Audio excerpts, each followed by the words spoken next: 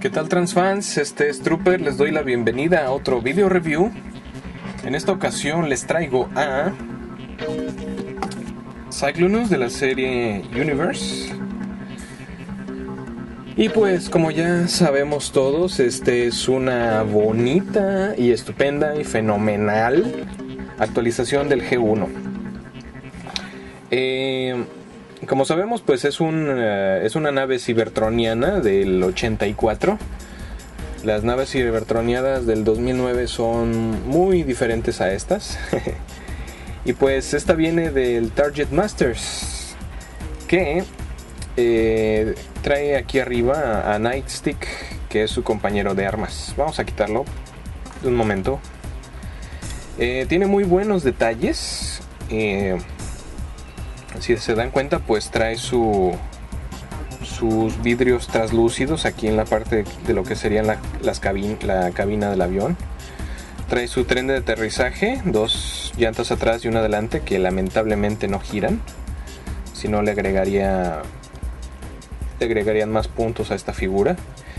Eh, es una muy buena actualización de la G1, como les digo. La G1 la tengo por acá.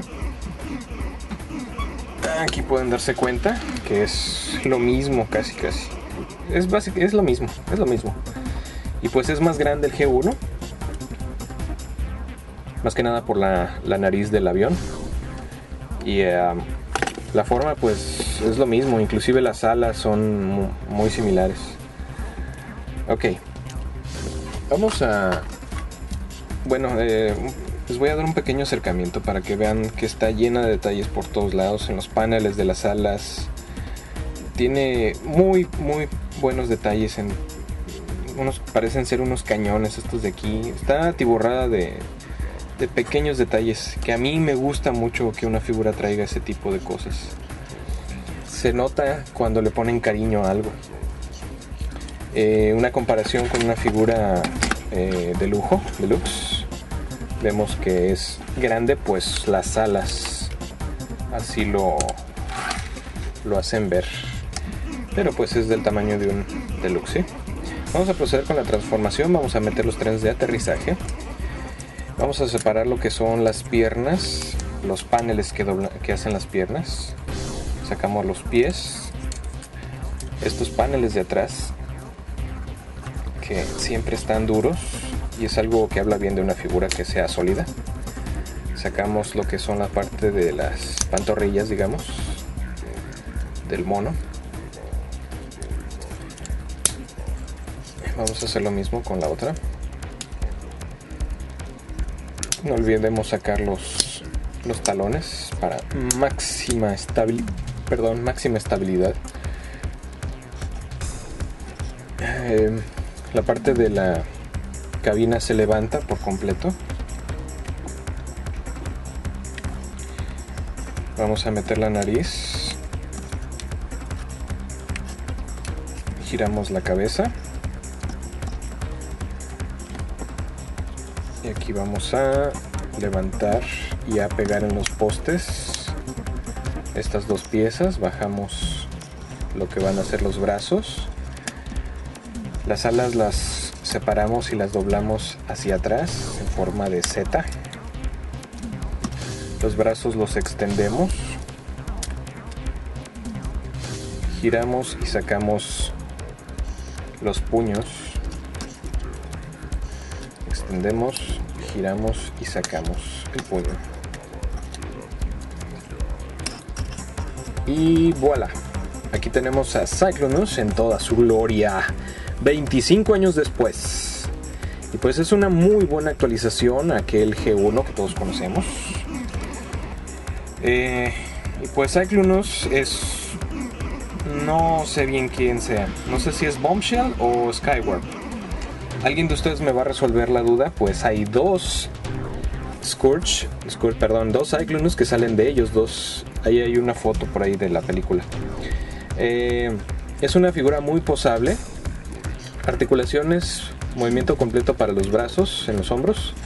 Puede levantar los brazos, movimiento en, los codos, puede girar el antebrazo, piernas hacia adelante, hacia atrás, rodillas y giran no gira la rodilla gira lo que es el muslo es una figura muy posable aquí lo vemos con Nightstick y pues solo puede tomar el arma en una en una mano puesto que no tiene dos agujeros en no tiene otro agujero en la otra mano pero pues es una figura que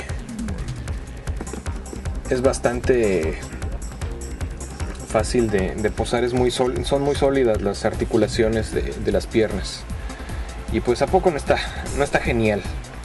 Fue una de las figuras que causó más sensación cuando salió. Y pues eh, ya se dan cuenta por qué. Está muy bien hecho, muy bien hecho. A mí me gusta mucho, mucho me gusta. Vamos a hacerle un pequeño acercamiento para que lo vean. Tiene muy buenos detalles. Ahí ya le están viendo los ojos brillar, pues tiene su light piping. Y pues tiene detalles por todos lados. Está muy bien esta figura, se la recomiendo muchísimo.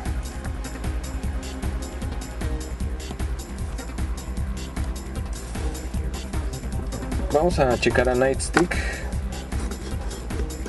Señor Cyclonus, denos un segundo para hablar de su camarada. Su camarada de armas. Es muy fácil la transformación, estos dos de aquí forman lo que son las piernas. Aquí movemos los pies y el cañón solo lo llevamos hacia la espalda. Y pues aquí tenemos a Nightstick. Tiene articulaciones decentes, movimiento completo para los hombros, puede doblar los, los codos, no tiene articulación en la cabeza, los pies pueden levantarse por individual, hacia adelante o hacia atrás. Que no es mucho el movimiento hacia atrás, puesto que está el cañón. Los pies también se doblan hacia adelante, pero pues es propio de la transformación.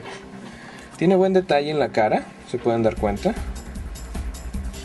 Me gusta que las figuras tengan detalles en las caras, les, les da mucha personalidad a una figura que la cara esté bien detallada de hecho se le ve su casco, ¿no? Y está una, una pequeña cresta que va hacia atrás. Está muy, muy bien la figurilla. Pues el tamaño, aquí lo pueden ver, es de la... Le llega, le llega casi a la rodilla.